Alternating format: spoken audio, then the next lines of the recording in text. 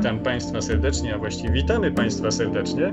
Moim gościem jest Marcin Sitkiewicz. Marcinie, jesteś y, przez niektórych, y, no dobrze, nie, nie, przez niektórych, tylko konkretnie przeze mnie, y, rozpoznawany jak ta, jako taki troszeczkę komputerowy geek, w sensie rzeczywiście fan nowych rozwiązań, nowych technologii. I prawdopodobnie właściwy człowiek na właściwym miejscu w Dassault SolidWorks Polska. Tego ostatniego nie wiem. Dzień dobry Państwu, witam bardzo serdecznie. Natomiast e, rzeczywiście bardzo lubię nowe technologie, przeróżne. Mm, ostatnio jestem mocno zaangażowany w tematy związane z wirtualną rzeczywistością, rozszerzoną rzeczywistością. E, temu poświęcam sporo czasu i to są rzeczy, które mnie bardzo interesują, bo ten świat mnie trochę wciągnął, ale jest mnóstwo innych rzeczy związanych również e, z nowymi technologiami, z branży już może troszeczkę bardziej prywatnej, tej strony prywatnej, mniej ze strony, mm, którą zajmuję się na co dzień w pracy, ale one także mnie dosyć mocno wciągają, więc niewątpliwie dałem się ponieść różnym tematom związanym z nowymi technologiami. Można łączyć doskonale to zafascynowanie nowymi technikami, nowymi technologiami z tym, co robisz na co dzień. Czym zajmujesz się w SolidWorks Polska? Jestem odpowiedzialny za to, żeby sprzedaż SolidWorksa w Polsce mm, była wsparta odpowiednią wiedzą techniczną, e, czyli wszystkimi tymi aspektami, które związane są z przekazywaniem informacji na temat nowych wersji, przekazywaniem informacji na temat tego, co wprowadziliśmy w SolidWorksie, Mm, jeżeli jest taka potrzeba, to chętnie też rozmawiam z klientami na temat planów czy ich e, bieżących problemów, które można byłoby rozwiązać za pomocą nowych funkcji, które SolidWorks e, mógłby wprowadzić. W takim razie to jest dobry moment chyba, żeby porozmawiać o tym, co e, SolidWorks już wprowadził w wersji 2021, no, o której od jakiegoś czasu już sporo wiemy, ale chyba, chyba Chyba jeszcze nie wszyscy i nie wszystko, a w każdym razie jest na pewno spore grono osób, które dopiero poszukują jakichś rozwiązań, więc dla nich takie informacje w postaci może y, bardziej, bardziej syntetycznej, może mniej syntetycznej. Zobaczymy, no, na ile jesteś przygotowany na dzisiaj, ale spodziewam się, że, że, że przygotowany jesteś. Zobaczymy, jak to. Niestety, z braku czasu. No, co w mojej mocy. Tak, czas to jest, czas, time is always against us. Czy jakoś tak to było, prawda? Jak mawiał klasyk. Dobrze. Co nowego w tym, tym SolidWorksie jest takiego, że no bo wydajność, wydajność, wydajność. Wszyscy mówią, że wydajność. Natomiast rzeczywiście na filmach porównawczych, które są dostępne w necie, no to wygląda na to, że ta wydajność to nie jest tam 30% szybciej, tylko jest zdecydowanie więcej. Jak to się udało osiągnąć? To oczywiście zależy od aspektu, o którym mówimy, ponieważ zmiany z wydajnością, która powiedziałbym jest chyba najważniejszym motywem wersji 2021, dotyczą właściwie... Przerwę ci, przerwę ci, wy, wybiję cię z narracji. Wcale nie. Gro osób mówi, że jednak undoredo, undoredo i hula, redu, redu, ponów, ponów, ponów, tak, że to było to. Powiem tak, ja, ja, bym podzielił te nasze nowości na dwa, dwie grupy tematów, które zaadresowaliśmy. E, to są, jeżeli otworzysz na przykład e, dokument What's News, każdą nową wersją produ, e, produ, publikujemy mm, taki PDF, który zawiera listę wszystkich nowości z opisem tego, czego one dotyczą, w jaki sposób można je wykorzystać. Co roku ten dokument ma grubo ponad 200 stron, więc to jest taka potężna, można powiedzieć, ilość danych, które są zawarte w tym dokumencie, która świadczy o tym, jak wiele pracy wkłada dział rozwoju produktu Dassault w nowe wersje SolidWorksa. E, I chciałbym podkreślić od samego początku, skąd się wzięły te nowości, bo to nie jest tak, że nasi inżynierowie e, siedzą i zastanawiają się nad tym, co by tutaj jeszcze można było poprawić, żeby było wszystkim lepiej. My bardzo mocno wsłuchujemy się w głos naszych użytkowników i to on jest decydujący, to on mówi o tym, co tak naprawdę zostało zostanie nowego wdrożone w SolidWorks i ten sposób zbierania informacji to bardzo różne kanały. To z jednej strony e, kontakt z użytkownikami na naszej największej imprezie mm, użytkowników, jaką mamy, czyli 3D Experience World, w której też e, Maćku uczestniczyłeś, więc e, znasz ją dobrze, wiesz jak to wygląda. Nie, że... poprawka, nie uczestniczyłem, uczestniczyłem w kilku edycjach, albo nawet kilkunastu SolidWorks World Conference, ale A? na 3D Experience ze względu tak. na e, wypadek. E, no niestety, na pierwszej edycji nie byłem. E, uczestniczyłem wirtualnie, można powiedzieć. Przypuszczam, że w przyszłym roku ta edycja też będzie bardziej wirtualna, ale to jest. Będzie, tak. Już można powiedzieć, już w tej chwili rozsyłamy zaproszenia. Mm, ta nowa wersja będzie wyłącznie wirtualna. E, niestety, ale to ze względu oczywiście na sytuację Jasne. ogólnoświatową, pandemię i tak dalej. Wszyscy przenoszą tego typu imprezy do internetu. My dokładnie tak samo robimy. Natomiast e, jeśli chodzi o mm, nazwę tej konferencji, bo już wspomniałeś o niej, to jest to tylko drobna zmiana samej nazwy. Formuła konferencji jest dokładnie taka sama. Uczestnicy pojawiają się również e, z tej samej grupy użytkowników. Natomiast my chcemy podkreślić, jak bardzo SolidWorks w tej chwili patrzy w stronę 3D Experience, że to jest przyszłość, którą my widzimy dla mm, rozwiązań kadowskich na świecie, to nasza platforma. Ja myślę, Maćku, że fajnie by było, jakbyśmy mogli kiedyś się spotkać i porozmawiać tylko o platformie, bo to jest temat rzeka, który też bardzo lubię i też chętnie o nim bym Państwu poopowiadał. A natomiast e, dziś, skoro tematem naszego spotkania jest SolidWorks 2021, to, to myślę, się na raczej na tych rozwiązaniach, e, które ja określam jako desktopowe, czyli SolidWorksa, którego wszyscy znają, mogą zainstalować na własnym komputerze i z niego korzystać e, w takiej formie, jaka była dostępna przez ostatnie naście lat. No, chyba nawet już można powiedzieć 10, tak? 95, 2000, mhm. jest to jeszcze nie. To jeszcze nie, no to już, 25. To już, 25, to już. tak, 25 lat. Wieku. Aż trudno w to uwierzyć. 25 lat w branży software'u to, to naprawdę jest y, szmat czasu. To jest to epoka. Było naprawdę dużo. Natomiast wracając do, do zbierania informacji, więc z jednej strony jest to oczywiście e, spotkanie z użytkownikami na żywo, ale również e, my zbieramy informacje za pomocą ankiet, które Państwo macie w software'ze i bardzo często pojawiają Wam się takie prośby o odpowiedź na pytanie, co się dzieje e, w, w Waszym programowaniu, czego byście oczekiwali. Bardzo często też, jeśli pojawiłby się jakiś błąd w samym programie, my zbieramy te informacje w wersji elektronicznej, żeby je prześledzić. Oczywiście również zgłaszane tak zwane service requesty, to taka angielska nazwa, ale w tej chwili nie ma polskiego odpowiednika.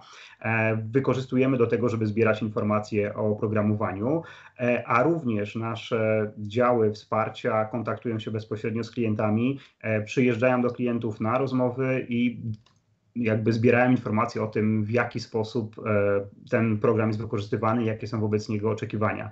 W efekcie powstaje naprawdę ogromna, ogromna ilość danych, które dość trudno jest zanalizować tak naprawdę, bo zdarzają się sytuacje, w których e, różni klienci mają troszeczkę przeciwstawne oczekiwania według e, programu, więc lista tych rzeczy, które widzieliby nasi użytkownicy w programie jest bardzo, bardzo długa. Natomiast my, my decydowaliśmy się na wdrożenie pewnych metod, które pozwalają nam analizować te dane i pozwalają priorytetyzować też te rzeczy. E, I jednym ze sposobów takiej priorytetyzacji jest lista top 10, która ogłaszana jest na 3D Experience World albo na mm, SolidWorks World do tej pory, e, która to lista zawiera te ulepszenia, które najczęściej pojawiają się w życzeniach użytkowników. I bazując na tej liście, my wprowadzamy nowości w kolejnych wersjach. Nie w jednej, ale w kilku kolejnych wersjach, e, które będą się pojawiały ze względu na to, że część z tych nowości wymaga e, sporo większych zmian w kodzie, niż jest to możliwe w dość krótkim tak naprawdę czasie. czasie.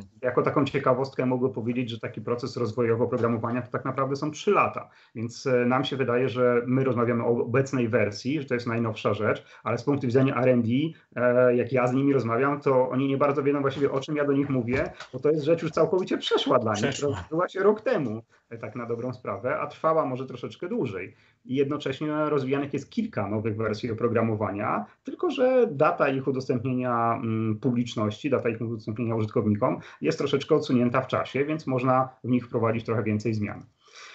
Więc z takiej, e, na tej liście, która mm, została ostatnio analizowana, która była ostatnio analizowana, na tej liście jednym z priorytetów, na które zwracali użytkownicy, była właśnie wydajność. Więc to nie jest tak, że to my chcieliśmy coś poprawić, to użytkownicy życzą sobie, żeby poprawić wydajność i poprawiamy tą wydajność w różnych aspektach i od kilku tak naprawdę wersji, bo już wersja 2019 przyniosła pierwsze znaczące zmiany, gdzie udało się wyeliminować e, problemy, powiedziałbym, mm, które były dość mocno uzależnione od sprzętu i systemu operacyjnego, czyli od kart graficznych i, i od systemu operacyjnego. Mm, mianowicie dzięki e, wyeliminowaniu starszych bibliotek, które do tej pory w SolidWorksie były, udało się znacząco przyspieszyć możliwość wyświetlania dużych obiektów. E, najpierw wyświetlania w eDrawings, potem wyświetlania w samym SolidWorksie, e, gdzie jeśli nawet korzystacie Państwo z tego samego komputera, w sensie hardware'u, wszystko jest dokładnie tak samo. Płyta główna, e, dysk twardy, karta graficzna, to proszę mi wierzyć, że różnica pomiędzy na przykład wersją 2014 a wersją 2020 będzie znacząca. To znaczy przy dużych złożeniach, próbując je obrócić, przesunąć, wykonać typowe operacje przybliżenia na przykład, będziemy mieli e, na tym samym komputerze, ale innej wersji SolidWorksa zupełnie różne doświadczenie. I poszliśmy tym tropem, e, rozwijając e, możliwość e, wzrostu wydajności we wszystkich właściwie naszych produktach, które mamy w tej chwili. W wersji 2021 największe usprawnienia dotyczą na przykład PDM-a i typowych operacji, które wykonujemy na plikach w PDM-ie, gdzie w kilku różnych miejscach te operacje zostały przyspieszone na przykład o 150% więc jest to naprawdę znacząca zmiana. E, te, to przyspieszenie w wersji 2021 dotyczy także sposobu wyświetlania e, rysunków. W rysunkach płaskich jest często tak, że my potrzebujemy zrobić rysunek zestawieniowy, gdzie mamy bardzo mhm. ilość informacji, dosyć szczegółowych informacji, tych rzutów jest całkiem sporo. To, to nie jest tak, jak e, czasem widzimy w takich typowych mm, wideo z demo, gdzie znajdują się tylko trzy rzuty prostego detalu, Jasne. w tym jeden izometryczny, sprawa załatwiona. Typowy rysunek naszego klienta jest dużo, dużo bardziej skomplikowany, zawiera dużo większą ilość informacji i kiedy zaczynamy go przesuwać na ekranie, zwłaszcza przy, powiedziałbym, mało wydajnym komputerze, nagle okazuje się, że odtwarzanie tego rysunku przez kartę graficzną trwa naprawdę dość długo. długo. E, trwało dopóki nie wprowadziliśmy wersji 2021, ponieważ tutaj te usprawnienia, które pojawiły się w tej wersji, sprawiają, że wygląda to zdecydowanie, zdecydowanie lepiej. Lepiej. Innymi słowy, przejście na wyższą wersję nie oznacza wcale tego w tym momencie, że potrzebujemy komputer o większej wydajności, z lepszą pamięcią, lepszym procesorem, więcej rdzeniu, rdzeni, żeby dać radę i, i, że tak powiem, żeby hardware nadążył za softwarem, tylko raczej Mhm. To jest, Maćku, to co mówią mhm. nam użytkownicy. Oni mówią e, fajnie, oczywiście my rozumiemy, że zawsze można kupić nowy komputer, ale nie zawsze mamy taką możliwość, bo jest określony budżet e, i my chcielibyśmy, żeby na tym, co mamy, działało to troszeczkę lepiej niż teraz. E, wtedy wiemy, że opłaty subskrypcyjne rzeczywiście mają dla nas sens, bo tą, widać tą pracę, którą programiści wkładają w software i widać, że dzięki e, temu rzeczywiście u nas działa to lepiej. Oczywiście zmiany sprzętowe też są bardzo istotne, bo chociażby pojawiają się nowe wersje kart graficznych, które są znacznie wydajniejsze niż poprzednie generacje. My dostosowujemy oczywiście nasz kod do tego, żeby wykorzystywać wszystkie możliwości tych kart. Współpracujemy blisko z producentami kart, którzy optymalizują sterowniki e, konkretnie pod SolidWorksa, e, czy na przykład pod Katie i dzięki temu my możemy zapewnić e, maksymalną wydajność, wydajność, tego, co dostarcza nam karta graficzna. Natomiast nie pomijamy możliwości także ulepszeń dla użytkowników, którzy mają troszeczkę starsze poprzednie generacje komputerów E, czy poprzednie generacje na przykład kart graficznych. Mówię celowo o tej karcie graficznej, ponieważ ona ma bardzo istotne znaczenie, jeżeli chodzi o aplikacje kadowskie. Ten sposób wyświetlania bardzo mocno zależy od tego, e, jaką kartę graficzną e, wykorzystujemy. Aczkolwiek od razu, jak mam okazję, to wspomnę, bo to również mój konik. Drugim istotnym elementem, a bardzo często pomijanym i przez informatyków, i przez konstruktorów jest twardy dysk. Proszę mi wierzyć, że wydajność e, aplikacji kadowskich również bardzo mocno zależy od twardego dysku, ponieważ szybkość zapisu i odczytu wpływa na to, w jaki sposób możemy sobie radzić na przykład z, właśnie z dużymi złożeniami wczytywanymi bezpośrednio do SolidWorksa, a nawet z, z symulacjami, które także w trakcie symulacji zapisują te wyniki przecież na dysku, te wyniki cząstkowe, więc to wpływa na ogólny czas wykonania całego naszego badania.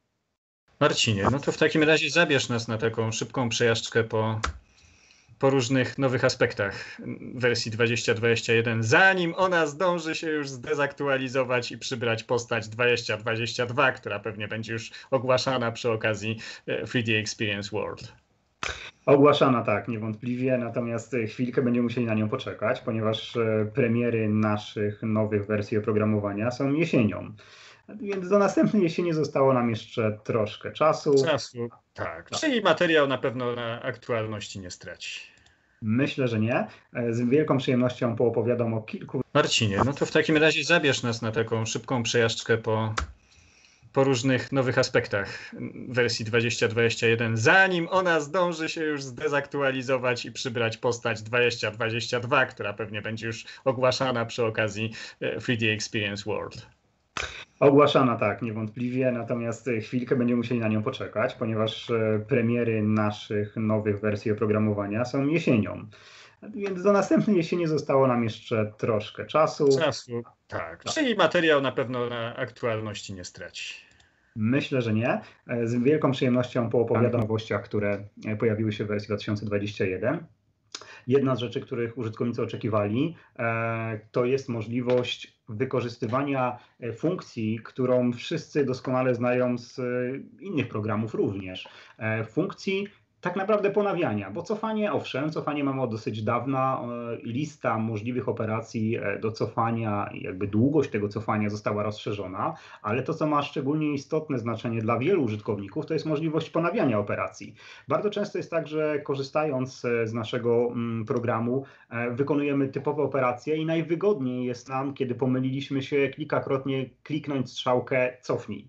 A w tym wypadku zdarza się, że użytkownik klikając tą strzałkę cofnij dochodzi do takiego momentu, gdzie cofnął troszeczkę za dużo operacji. I do tej pory mógł być z tym problem. Natomiast w wersji 2021 mamy możliwość ponawiania operacji, które zostały cofnięte. W związku z tym na pewno nie stracimy operacji, które wycofaliśmy za pomocą strzałki e, cofnij.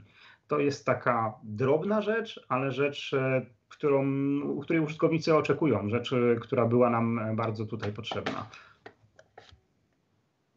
Spójrzmy na drugą z takich nowości, dotyczącą w tym wypadku blach. E, rozszerzyliśmy możliwości funkcji odgięcie o, również o odginanie takich elementów jak ten, który widzimy w tym momencie na ekranie, elementów, które już posiadają istniejące zagięcie i na tym, w tym wypadku możemy wykonać chociażby taki kołnierz i sterować e, jego e, parametrami dotyczącymi e, chociażby jak mocno będziemy tutaj odginali, jaka będzie, jaki będzie tutaj wymiar zastosowany, czy też jaki będzie typ odgięcia, umiejscowienie tego odgięcia na naszym detalu.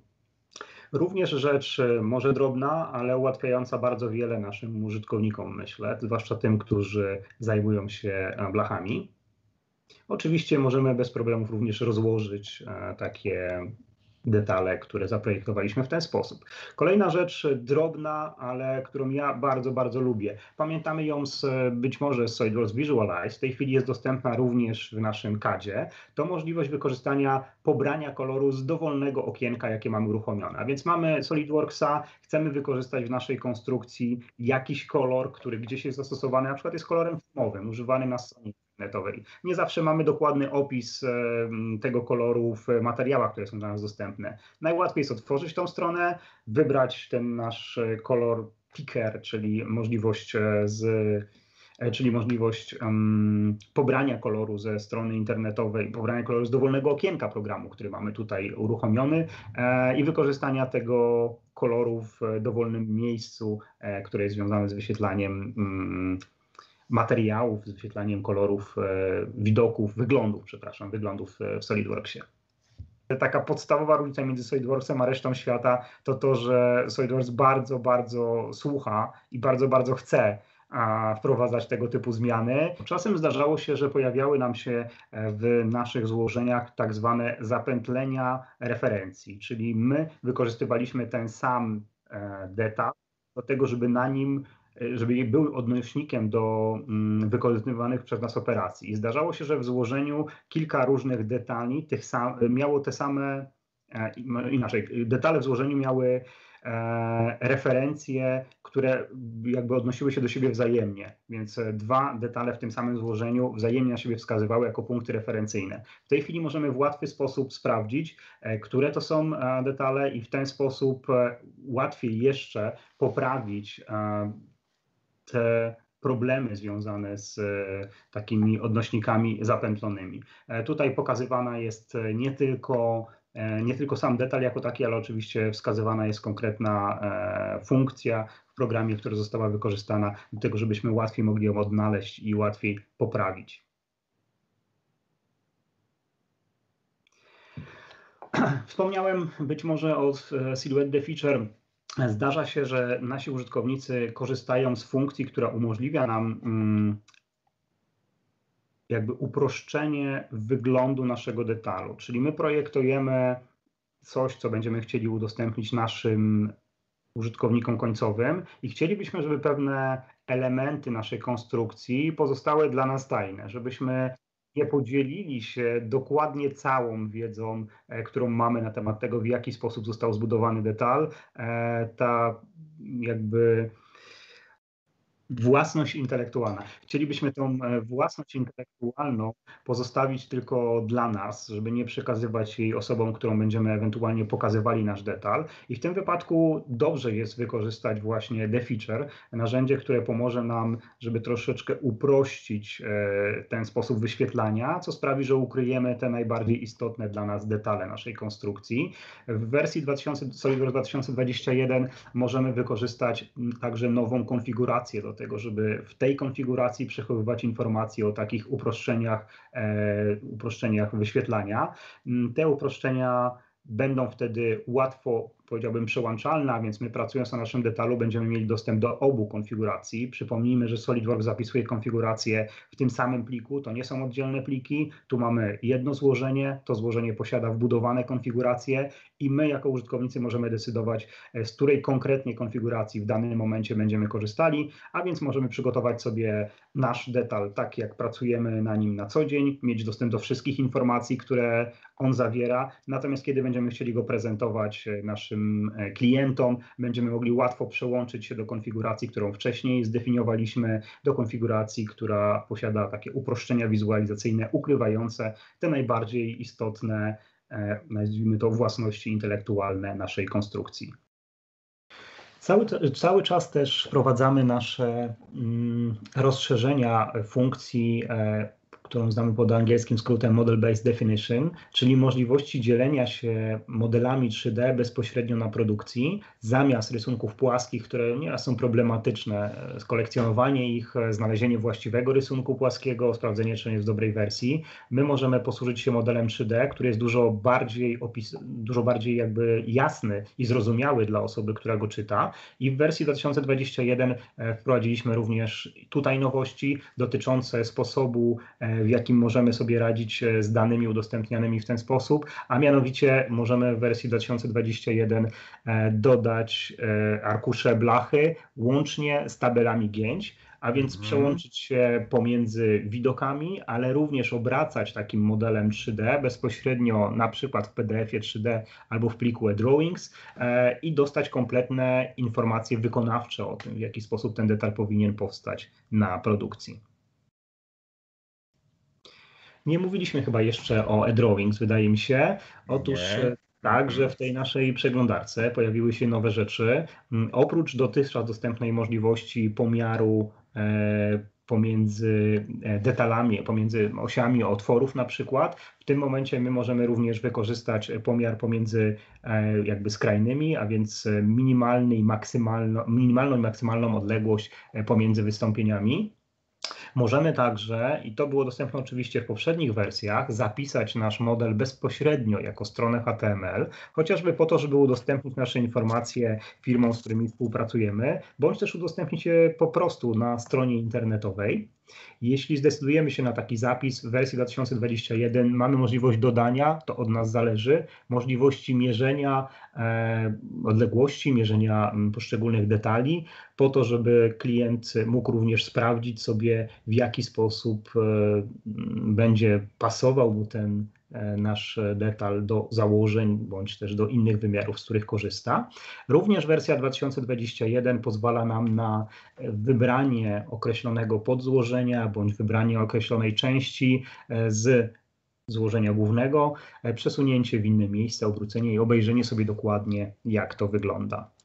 Czyli no, już nie tylko widok rozstrzelony, ale zdecydowanie więcej możliwości i to bez y, konieczności posiadania, że tak powiem, u siebie y, swojej licencji i zainstalowanej lokalnie y, aplikacji Drawings. Wchodzę tak. na stronę udostępnioną, oczywiście jeśli została udostępniona z tymi wszystkimi parametrami.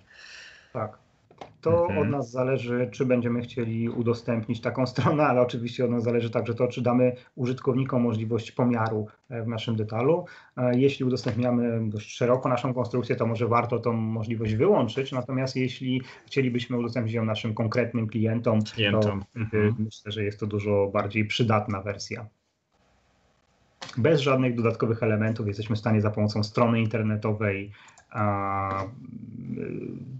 udostępniać nasz model z SolidWorksa i użytkownik, który będzie z tego korzystał, nie musi niczego instalować, żeby wyświetlić sobie taki model, obracać nim, przybliżać, oddalać, przesuwać. Bardzo często w SolidWorksie korzystamy też z konfiguracji, które są niezwykle wygodne do tego, żebyśmy mm, zapisali sobie różne wersje naszej konstrukcji. W wersji 2021 mamy możliwość wykorzystania tej konfiguracji także w SolidWorks Visualize, a co myślę jest fajnym dodatkiem e, do tego, co Visualize do tej pory oferował jako narzędzie do mm, tworzenia właśnie wizualizacji, do tworzenia filmów i do tworzenia renderingu. Mhm. E, to jest możliwość e, dodania w naszym, naszej wizualizacji również dodatkowych elementów graficznych, tam gdzie korzystamy z przekrojów. Przekrojów. Tak. Mhm. E, mianowicie możemy wykorzystać jakiś kolor do zaznaczenia, do tego, do zaznaczenia tego przekroju, żeby uzyskać e, taki szczególny efekt artystyczny, gdzie w łatwy sposób jesteśmy w stanie e, dać użytkownikom do zrozumienia, które z tych elementów zostały wybrane bądź wyrwane z całego, całej naszej konstrukcji i w jaki sposób wyglądają te miejsca przecięcia. Znów mała rzecz, ale bardzo wygodna i bardzo przydatna na co dzień. Zauważamy, że coraz większa ilość użytkowników SolidWorksa zaczęła traktować symulację jako nieodłączny element procesu projektowania. Mm, ilość firm w Polsce, które korzystają w tym momencie z symulacji do e, prowadzenia swoich działań jest już naprawdę znacząca i wychodzimy naprzeciw użytkownikom, którzy nie mają dużego doświadczenia w e, analizach i chcieliby wykorzystać narzędzie, które pomoże im taką analizę przeprowadzić w możliwie najprostszy sposób. Bardzo często takim problemem dla osób, które zaczynają, ale też i dla użytkowników, którzy działają od dłuższego czasu, ale po prostu zapomnieli pewnych rzeczy, jest e, jest to, że kiedy wykorzystujemy jakieś elementy złączne, to w naszej konstrukcji nie przeszkadza nam to, że pomiędzy tymi elementami występują przerwy. To jest rzecz, która w samej konstrukcji jest całkowicie pomijalna, natomiast dla solwera symulacyjnego już mhm. ma spore znaczenie, ponieważ wpływa na to, w jaki sposób e, ta symulacja uzyska bądź nie uzyska zbieżności. I my chcemy wyjść naprzeciw tym użytkownikom, którzy, którym zdarza się zapomnieć o tego typu rzeczach, bądź też tym użytkownikom, którzy zaczynają swoją przygodę symulacją, żeby w łatwy sposób byli w stanie uzyskać wiarygodne rezultaty e, symulacyjne. I dlatego wprowadziliśmy w SolidWorks 2021 e, po pierwsze e, nowe możliwości analizy jakości siatki mesh. W tym momencie ta siatka y, mesh, która jest tworzona automatycznie przez program, może być e, zanalizowana, to program może nam w tym wypadku pomóc mhm. znaleźć elementy, które nie spełniają standardów, które mogłyby sprawić, że nasze wyniki nie będą do końca wiarygodne. Niewydajne. Mhm. Ponieważ tak, ponieważ mogą się pojawić pewne przekłamania związane z tym, w jaki sposób ta siatka została stworzona, chociażby relacja pomiędzy bokami naszych E, naszych trójkątów w siatce e, mogłaby być e, niewłaściwa, w związku z tym wynik przypisany przez solver do konkretnych punktów posiadałby pewne zamurzenia, które będą wynikały wyłącznie z tego, jak działa siatka, jak została stworzona siatka, a nie z tego, jak to w rzeczywistości, jakie rzeczywistości siły mogłyby tutaj działać. I dlatego my wprowadziliśmy możliwość zanalizowania takiej siatki i wyodrębnienia, tak jak widzicie to Państwo w tej chwili na ekranie, tych elementów, które mogłyby sprawić problem. Więc w łatwy, graficzny sposób pokazujemy, co należałoby w siatce zmienić, żeby uzyskać e, właściwe rezultaty.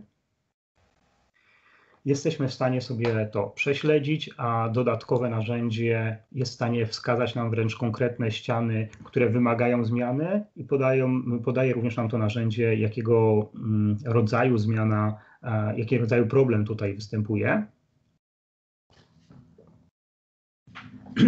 Także dla ułatwienia naszym użytkownikom w tej chwili solver do konkretnego mm, badania jest wybierany w sposób automatyczny, co nie zmienia faktu, że użytkownicy, którzy mają już doświadczenie, mogą także ręcznie dokonać wyboru solvera do e, konkretnego typu badania.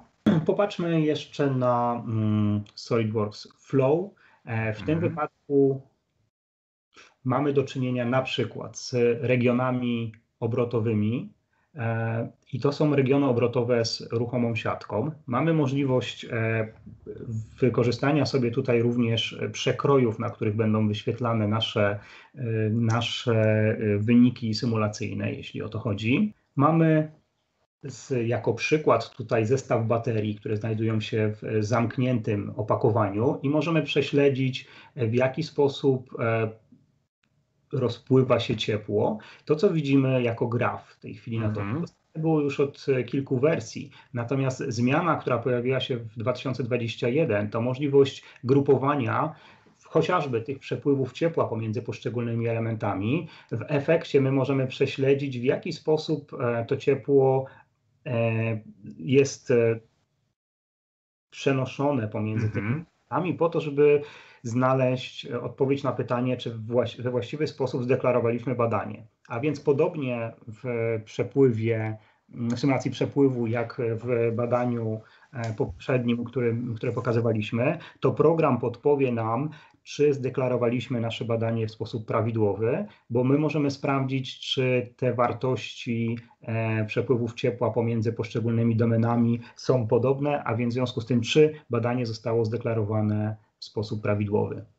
Jeśli chodzi o symulację wtrysku tworzyw sztucznych, to tutaj największe nowości to y, porządki w y, bazie danych. Porządki to znaczy przeanalizowaliśmy te materiały, które w bazie znajdowały się już od wielu, wielu wersji, czy dalej są mhm. aktualne, czy zawierają właściwe informacje oraz dodaliśmy wiele nowych tworzyw, żeby tą bazę jeszcze poszerzyć. Druga rzecz dotyczy możliwości symulacji wtrysku wielokomponentowego. To też jest dosyć ciekawy proces, bo bardzo często mm, potrzebujemy wykonać wypraskę z więcej niż jednego mm, tworzywa. Mianowicie chcielibyśmy uzyskać odpowiednią sztywność tej wypraski, więc potrzebne jest nam tworzywo, które zapewni nam tą sztywność, ale z drugiej strony zależy nam także na efekcie. Mm, efekcie artystycznym chcielibyśmy, żeby ona po prostu ładnie wyglądała. Wyglądała. Mhm. Po, posłużyć się możliwością wtrysku dwukomponentowego, czyli wtrysku, który zapewni nam w jednej wyprasce, w jednym gnieździe formującym dwa różne typy polimerów, z których jeden będzie na przykład charakteryzował się większą wytrzymałością, a drugi pozwoli nam na uzyskanie odpowiedniej powierzchni.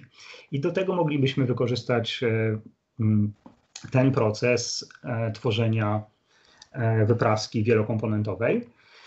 Tutaj mamy już na ekranie mm, przegrody i przegrody dwurulowe, a więc chłodzenie naszej wypraski. W tych detalach, które wymagają chłodzenia nazwijmy to wewnątrz jakichś istniejących elementów, czyli tam, gdzie trudno jest nam dotrzeć tradycyjnym kanałem chłodzącym, tego typu komponenty zamawiane z katalogów pozwolą nam uzyskać e, chłodzenie takich właśnie trudno dostępnych miejsc i my możemy bez problemów e, w SolidWorks Plastics wykorzystać tego typu wypraski, tego typu sposoby chłodzenia.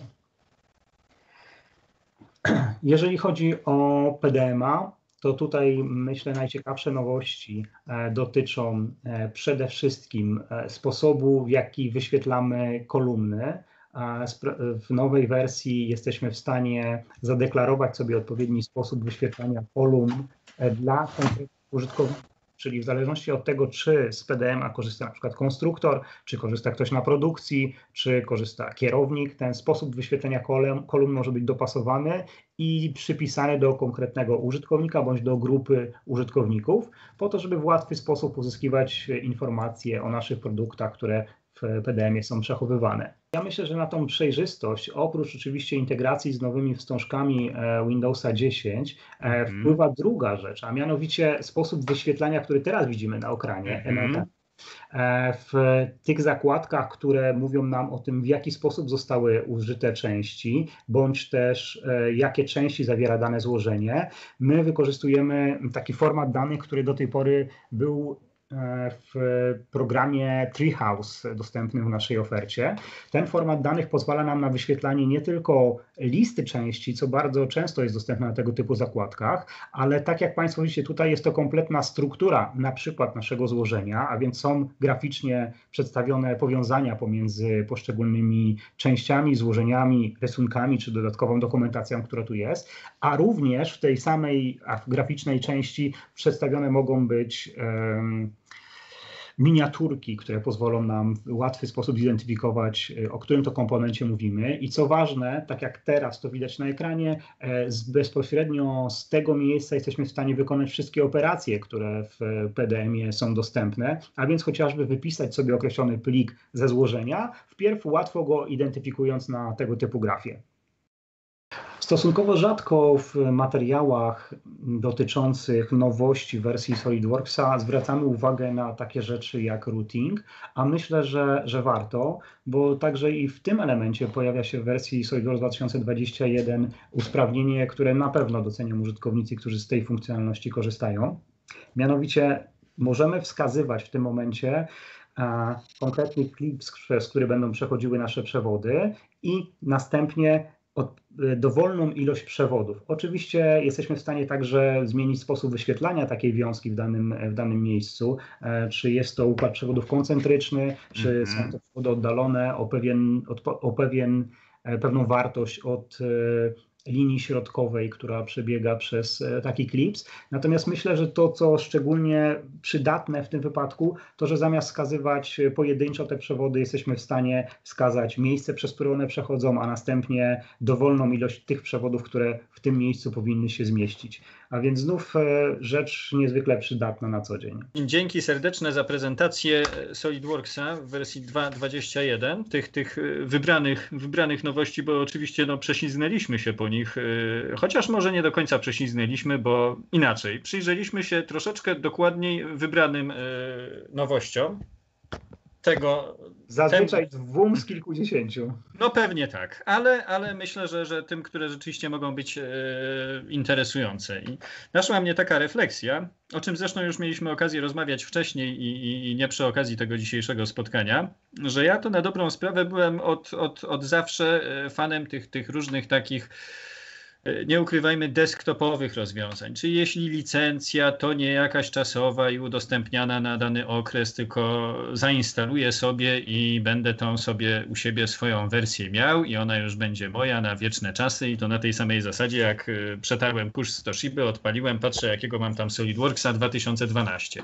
O kurczę, czy ja jeszcze umiem w tym pracować? No e, pytanie, czy ja w ogóle umiałem pracować w SolidWorksie, ale to spuśćmy zasłonę może. I okazuje się, że y, no, jakoś, jakoś ta praca y, cały czas pracować się da, ale no właśnie. Y, co osoba, która zastanawia się nad tym, czy jednak SolidWorks, czy jakieś inne rozwiązanie powinna wziąć pod uwagę w momencie, gdy do wyboru będzie miała no, SolidWorks desk desktopowo, czy jednak wykonać pierwszy y, drobny krok w stronę 3D Experience i zdecydować się na takiego SolidWorksa mm, w chmurze, właśnie na platformie. Tutaj y, widzę udostępniony przez Ciebie i, i, Państwo też widzą y, taki graf przedstawiający te podstawowe, podstawowe zalety związane z przejściem, z przejściem y, w chmurę i z korzystaniem z SolidWorksa.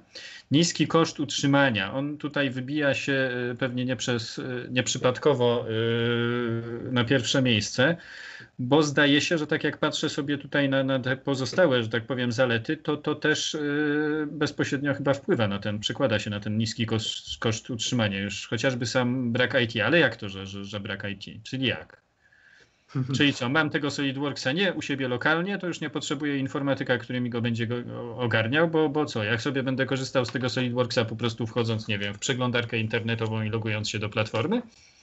Mm, no dokładnie. Wyobraźmy sobie takie rozwiązanie, że masz dostęp do swojego SolidWorksa, a właściwie do oprogramowania 3D Experience, bo wolałbym w tym momencie dla rozróżnienia posługiwać się mm -hmm tym określeniem. Proszę sobie wyobrazić e, dzisiejsze czasy, gdy wszyscy siedzimy w domu, albo przynajmniej część z nas siedzi w domu, albo musi nagle być w domu, e, tak jak to było, nie wiem, w marcu, kwietniu tego roku, gdy ni stąd, ni zowąd okazało się, że zalecenia są takie, że większość e, osób powinna pracować z domu. Potem to się być może trochę zmieniało. Niemniej jednak pojawiła się nagła potrzeba. Wyobraźcie sobie Państwo, że jesteście w takiej właśnie sytuacji po raz kolejny, kiedyś e, i macie troszkę inne możliwości niż do tej pory bo do tej pory musieliście zabrać swój firmowy komputer do domu, ewentualnie no, ktoś musiał wam e, dać jakiś inny komputer i sposób połączenia się z tym, co się dzieje w firmie.